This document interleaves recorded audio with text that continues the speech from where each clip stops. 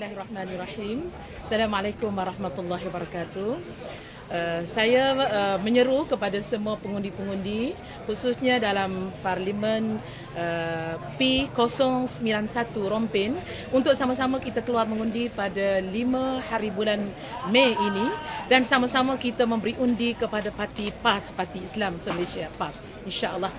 Sebagai rakyat Malaysia sudah menjadi tanggungjawab kita untuk menunaikan uh, tanggungjawab sebagai sebuah negara untuk kita sama-sama menunaikan hak dalam sistem demokrasi yang ada ini untuk kita memilih pemimpin yang terbaik bagi mewakili rakyat Rompin untuk bersuara di Dewan Rakyat.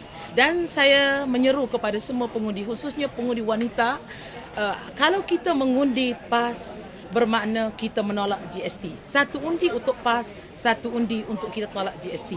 Tapi kalau kita mengundi BN bermakna satu undi untuk BN, satu sokongan untuk GST. Jadi sama-samalah kita buat perubahan insya-Allah.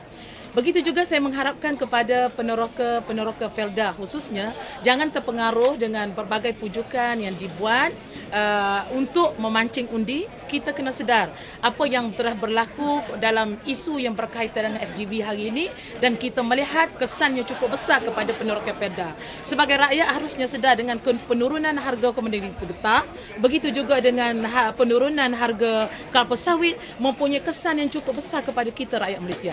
Inilah masanya sebagai rakyat Malaysia kita buktikan bagaimana kita rakyat kita menolak segala bentuk penindasan dan kezaliman dan kita terjemahkan penolakan kita terhadap dasar yang tidak memberi keadilan kepada rakyat ini dengan mem, eh, kita menterjemahkan dengan tidak memberi undi kepada BN di peti-peti undi masa pilihan raya pada 5 hari bulan Mei nanti. Jadi saya harapkan insya-Allah semua kita keluar mengundi dengan memberi sokongan padu kepada Parti Islam. Insya-Allah. Selamat mengundi.